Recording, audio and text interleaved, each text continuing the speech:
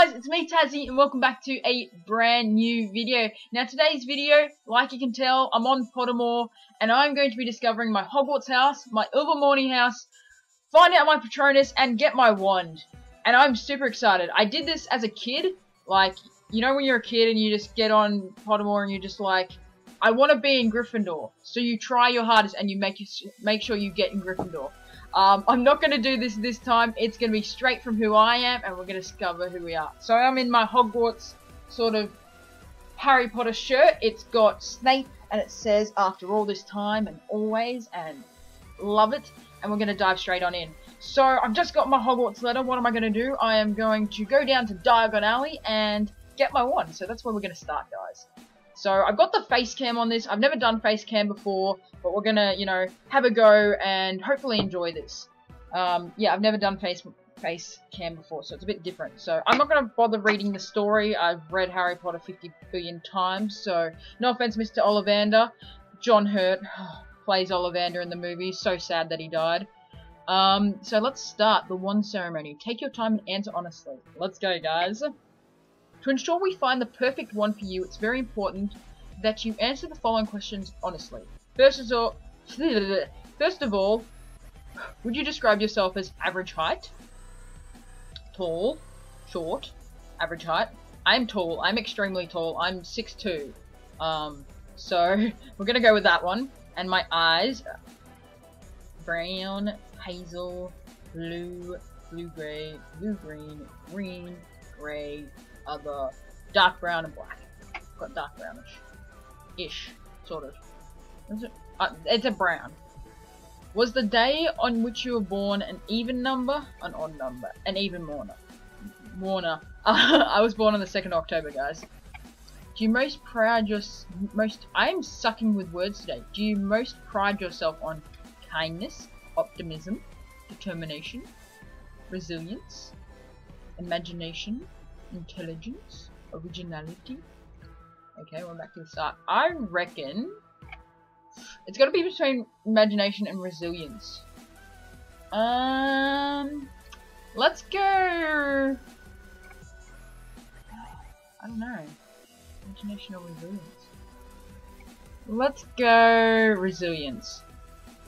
Traveling alone down a deserted road, you reach crossroads. Do you continue left towards the sea, head towards the forest or right towards the castle? We gotta go right towards the castle. I mean, I'm a big fan of medieval stuff, so definitely gotta go to the castle. Do you most fear fire, darkness, isolation, small spaces, heights? Fire. I gotta say fire. It's it's really bad considering I live out country because there's fire. There's a fire like risk, but yeah, I had used to have terrible like dreams of getting caught in fires and burning alive, that sort of stuff. So definitely fires. In a chest of magical artifacts, which would you choose? Ornate mirror, dusty bottle, golden key, silver dagger, bound scroll, glittery jewel, black, black glove. Um, I reckon the dagger. That makes me sound real cynical. Hmm. Okay, here we go! This is funny. Okay, I must...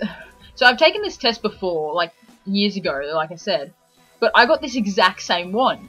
So, so I've got a pine wood with dragon heart string core, 13 inches, inches and rigid flexibility. So more about my wand. Pine, straight gain, pine wand also chooses an independent individual master who may be perceived as a loner, intriguing, and perhaps mysterious. Pine wands enjoy being used creatively and unlike others will adapt. Okay, dragon. Yeah, yeah, I might read this in my own time because this might take a while otherwise. But yeah, so that that's my my wand. Nice. Now let's let's go. Um, so I've officially gotten my wand. I better go run our way on the train and we're at Hogwarts and it's time to figure out what house we're in. So let's dive in. Not going to read the story again. Uh, begin the experience. Moon or stars? Hmm. Stars. Moon, there's just one. Stars are many. Oh. In our world, there's only one moon. Other world, there's plenty. plenty. If you could you if you could have any power, which would you choose? Power to read minds, power of invisibility, power of superhuman strength, power to speak to animals, how to change the past, power to change your appearance at will. I gotta say, superhuman strength sounds pretty good. It, not only would it be awesome, it would also enable me to like pass all the fitness testings I need. Like, I've got to do, like, if I join the defense force, you need, like, 15 push-ups and that sort of stuff. So, it'd be nice. Which of the following would you most hate people to call you? Ordinary, ignorant, cowardly, selfish. I gotta say, I really hate it when people say ignorant. Like, I try not to be, but it, it's a bit like, eh. If you're attending Hogwarts, which pet would you choose to take with you? Tabby cat, Siamese cat, ginger cat, black cat, white cat, tawny owl, screech owl, brown owl, snowy owl, barn owl, common toad, natterjack toad, dragon toad, harlequin toad, three toad, tree toad. okay, so it's got to be between. I reckon owls are so useful, but cats are also useful. I don't know. It'd either be a tabby cat or Is there a white owl? Or is it just snowy? Tawny. Brown owl. I kinda wanna go to snowy owl. Or tabby cat. Can I have both? That'd be fun because the cat will sleep with me at night and then the owl can deliver my food. Hmm. The, the difficult decisions in life, guys. Let's go... Snowy Owl. Which would you rather be? Invide? Okay. I don't know what that is, so let's just quickly Google it. Invade. Desire to have quality a quality possession or other desirable thing belonging to. Desire for oneself. Okay. Feared, liked, praised, trusted, imitated. Trusted. I think trust trusting is a very important thing to have and to make sure my friends trust me and my family trust me. I think that's a big thing. Which road tempts you most? The wide, sunny grassy lane, the narrow, dark lantern alley, the twisty, leaf-strewn path through the woods, the cobbled street. Ancient buildings. Ooh. I kind of like, mmm. I gotta say, that'd be pretty fun. Four boxes are placed before you. Which would you try and open? The small tortoise shell box embellished with gold inside with some small creature seem, seems to be squeaking. The gleaming jet black box with the silver lock and key with the mark of Merlin.